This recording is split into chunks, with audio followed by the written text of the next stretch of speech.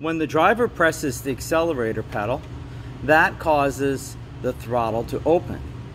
When the throttle opens, the throttle position sensor sends a signal to the engine control module that the throttle is open.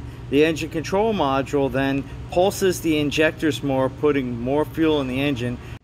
The air fuel mixture is drawn in through the intake valve by the downward movement of the piston. The air fuel mixture is then compressed as the piston goes upward, and then the spark plug ignites the air fuel mixture, causing it to explode, pushing the piston back down, causing power in the engine. Then the piston goes up, pushing the burnt air fuel mixture out through the exhaust valve, and that's the complete four stroke cycle that causes the power in the engine.